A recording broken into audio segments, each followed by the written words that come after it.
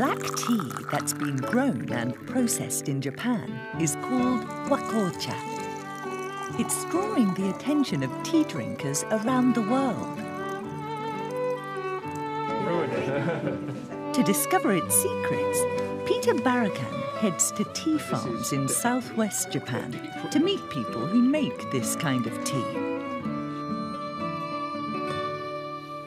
Mm. It is, it's very tasty.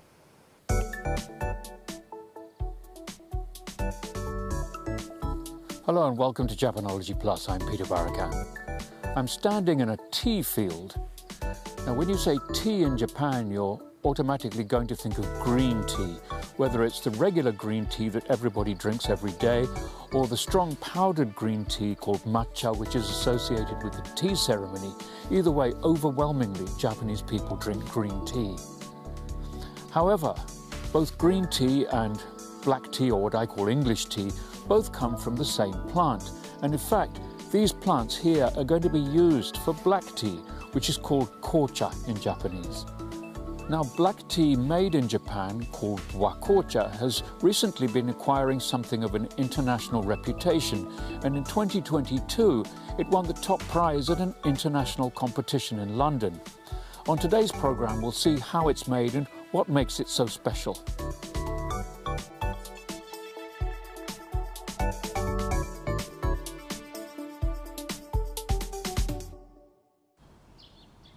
Mr. Barakan! Hello. Hello. Nice to meet you. I'm Okamoto Hiroshi. This is our main guest. Okamoto Hiroshi is one of Japan's leading wakocha experts. His shop in Saga Prefecture specializes in Japanese black tea.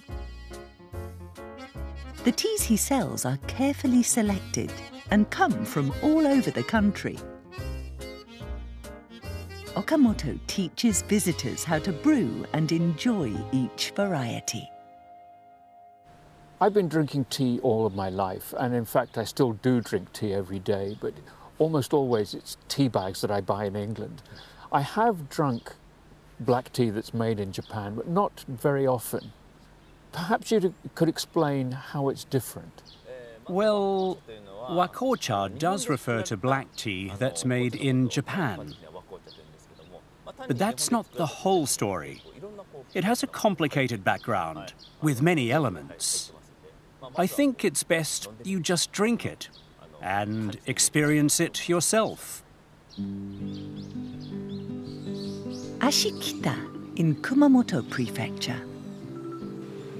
On this small hillside farm, tea is grown without the use of pesticides or chemical fertilizers. It's made by Kajihara Toshihiro. A third-generation tea farmer, he produces a world-class black tea. An impression on the panel of 12 expert judges.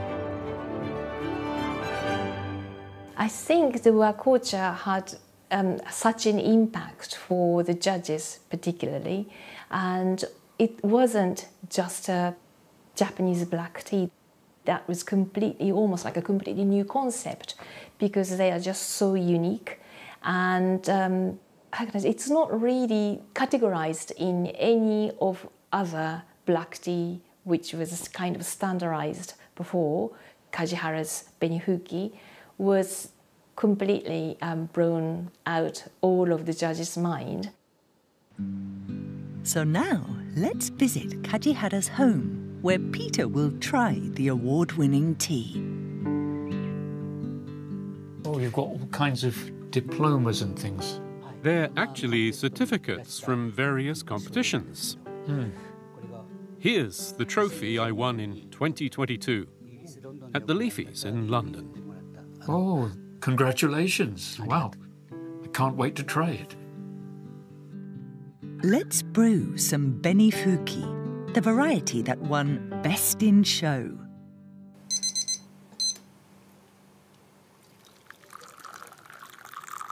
Okay, you decant it. Oh, it looks, it's a very nice colour. A deep red.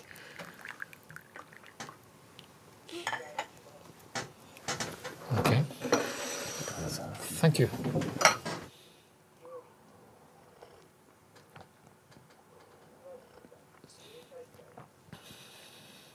Hmm, it is, it's very tasty. Um, there's a slight bitterness to it, but only very little. There's a kind of depth to it too. Normally I drink my tea with milk, but this is probably better as it is, I would imagine. Yes, it's best to drink it straight. Oh.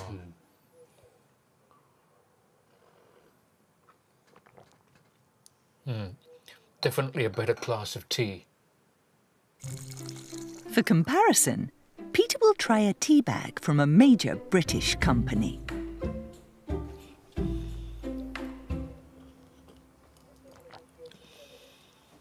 Ah, there's a slightly harsher taste, I suppose.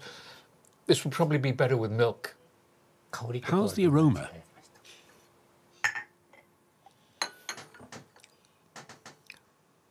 This is kind of a, a bitterer feeling and How about the benifuki?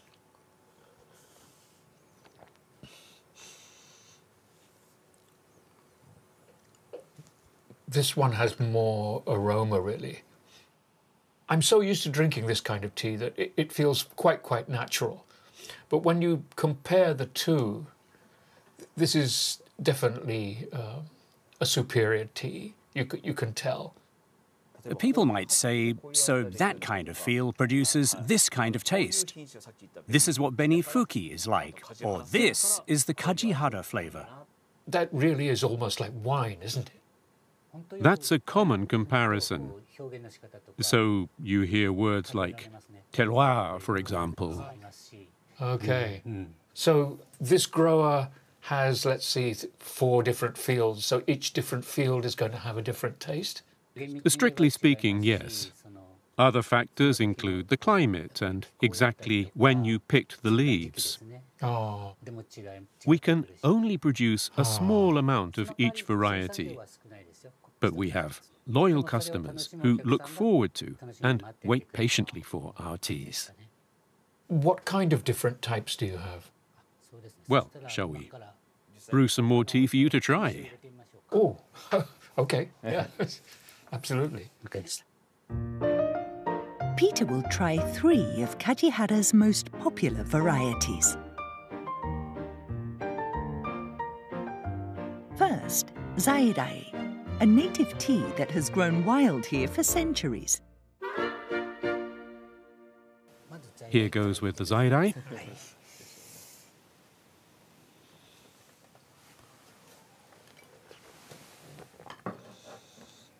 Oh. That's quite a mild taste, mm, but flavourful. Mm. And that's been around for a long time. So this would have been used to make green tea. It actually still is. This is our most popular tea.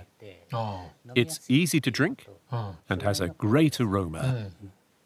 Next, try this one. It's called Koshun. okay.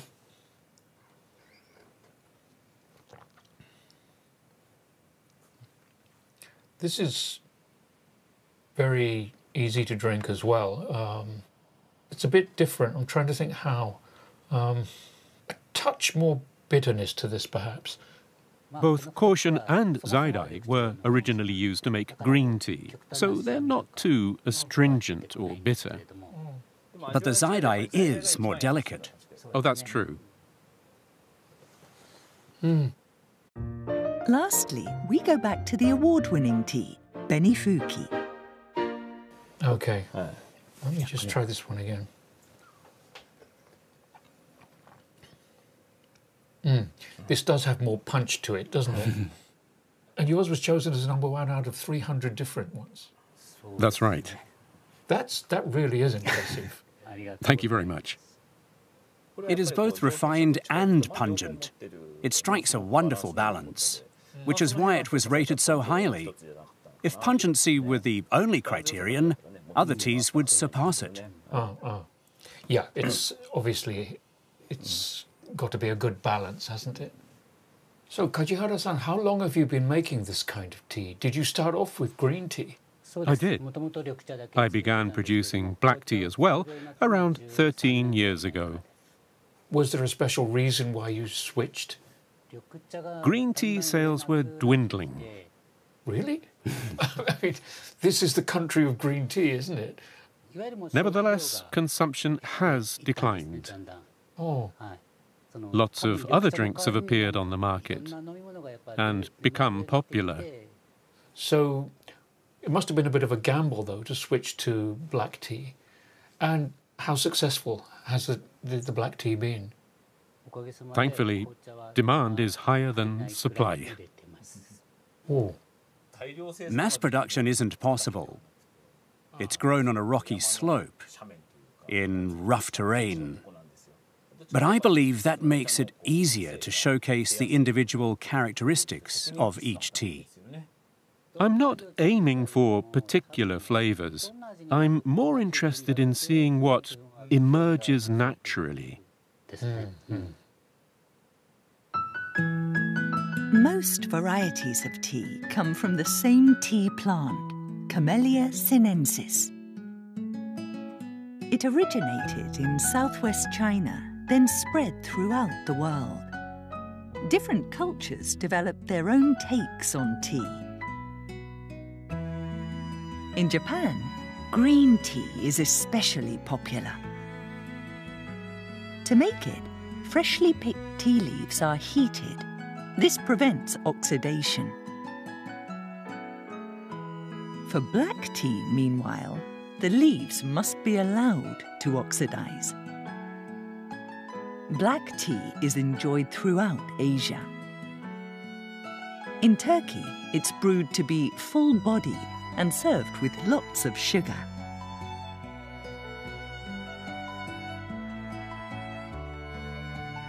Indian chai is brewed with milk and spices.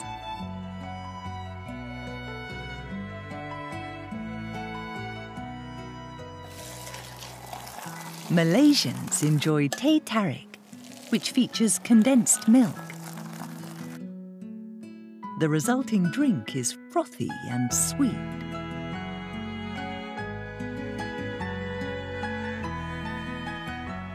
Tea arrived in Europe during the 17th century.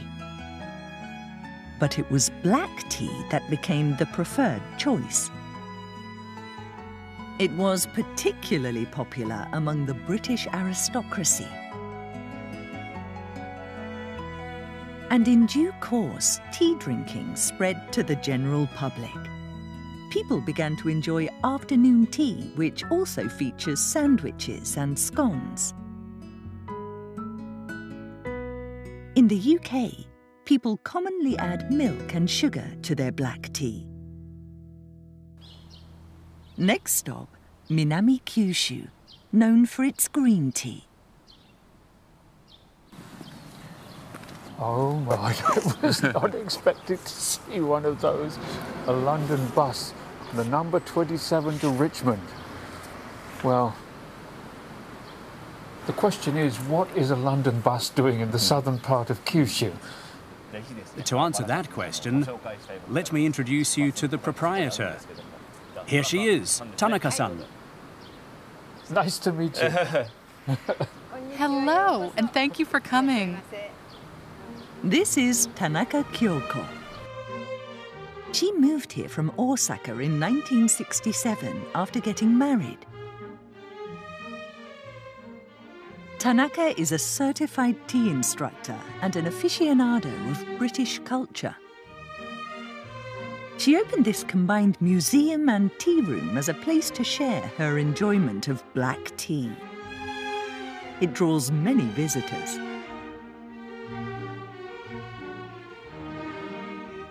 In the year 2000, she acquired her own field and, despite a lack of experience, began growing tea.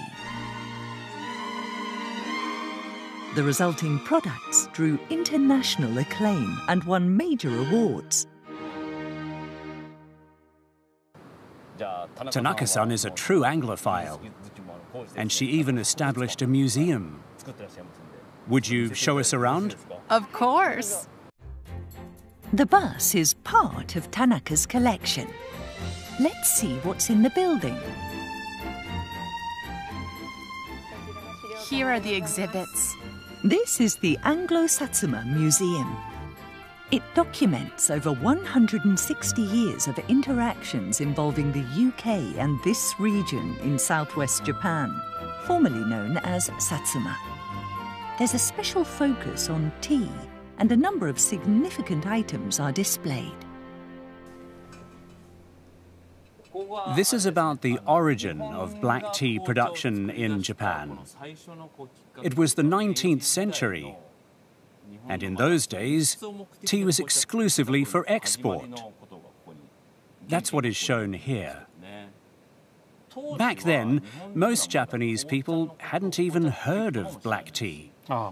They would have asked, how is that different from green tea? But Japan was just starting to build relationships with other countries. It was searching for ways to generate an income through international trade. Japan started making black tea as a commodity that could be exported and sold. Production really took off. Ah, okay. So it was a diplomatic tool. Yes, but that didn't last forever. Trade liberalization in 1971 changed everything. Black tea was no longer a moneymaker, so for economic reasons, the tea industry decided to shift its focus to green tea production. Until that point, black tea was produced for export. It was grown in large fields and sold to other countries around the world.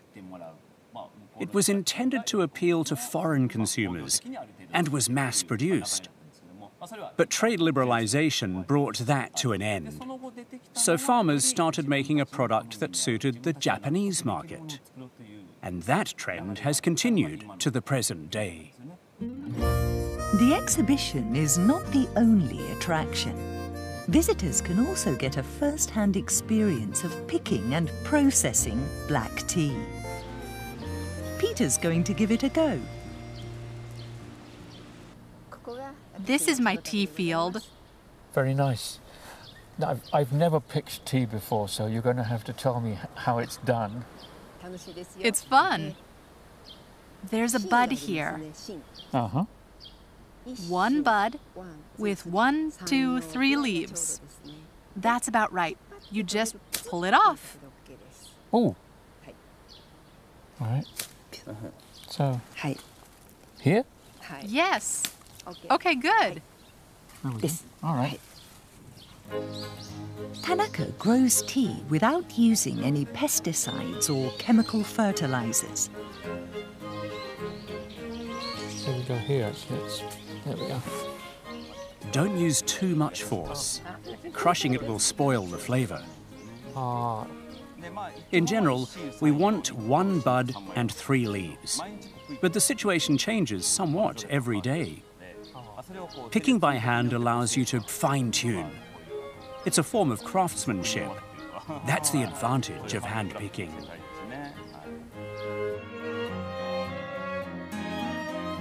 The leaves are left to dry for half a day or a day, then rolled. The way they are rolled greatly affects the final taste. We're going to demonstrate how rolling technique affects flavor. So go ahead, but be gentle. okay. Tanaka, meanwhile, is being more forceful. Like this? Very good. I can tell the tea is happy. For a more pungent taste, you apply more pressure. For a delicate taste, you roll the leaves much more gently. It's not like bread, which reacts to yeast. We oxidize the leaves. In order to do that, we need to damage them a little bit. It's like a cut apple turning brown. Okay, it's as simple as that. はい。The rolled leaves are placed in a warm, humid environment and left to oxidize for around an hour. This is different from green tea, which is not oxidized at all. At the right moment, the leaves are heated This halts the oxidation process. The final step is to dry them for half an hour.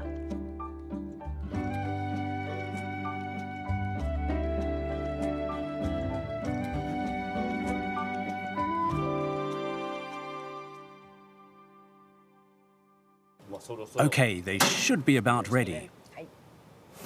First, these leaves. Oh, that's looking quite different now, isn't it? Yeah. Now these bigger leaves. Oh, that's really starting to look like tea now, isn't it? Hmm. This one was gently rolled. You can still see the shape of the buds. This was firmly rolled. The leaves are entwined. In English, you refer to this as black tea. It is said that the name comes from this dark color that the leaves take on once they've been dried. That's one theory, at least. Could be.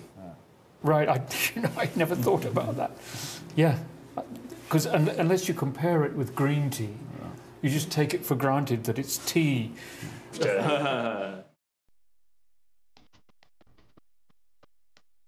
Wakocha is difficult to mass produce, but a new business is helping farmers to increase their sales. It was created by Negishi Jiro, a tea instructor.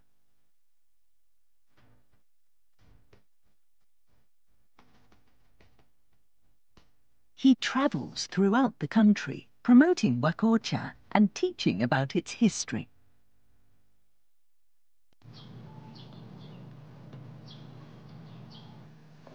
In 2021, Negishi established a Wakocha delivery service and sought out subscribers. Kubo Masayuki is his business partner. They carefully select teas from across the country. Ah, wonderful. They're all good. Once every two months, they send each subscriber packs of rare, high-quality black tea.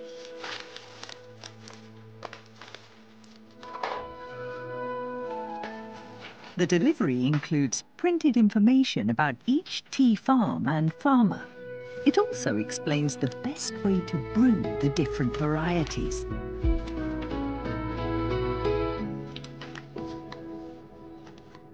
It's not easy to meet farmers face to face, so we try to inform subscribers about new developments, available varieties, and so on. Each farmer has their own story, varieties of tea, and production methods. We think that sharing this with our customers tends to encourage them to try new teas. That's my main goal.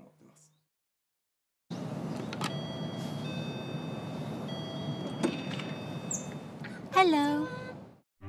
Honma Asami is a subscriber for this Wakocha delivery service.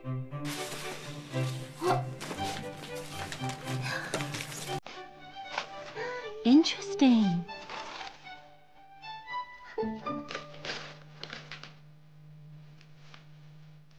Smells good.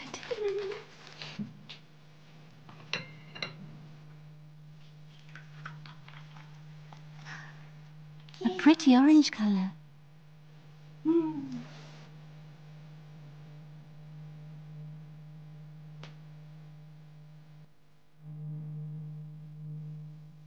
It's beautiful. I love tea, so I do search for different varieties. But it can be very difficult to find what I'm looking for. This service gives me more chances to discover new teas. It's wonderful.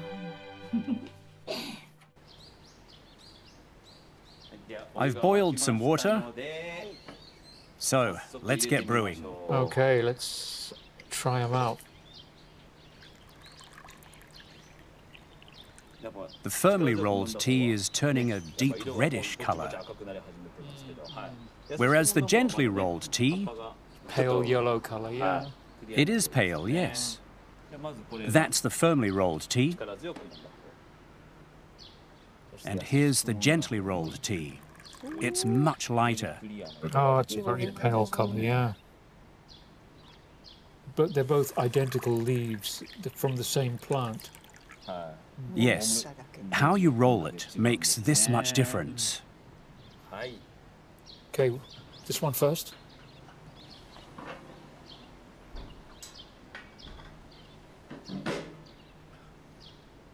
Hmm. It's a very light taste, yeah.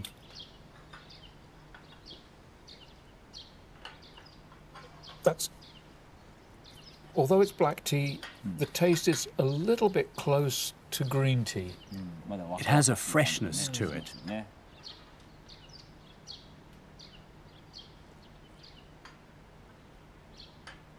Mm.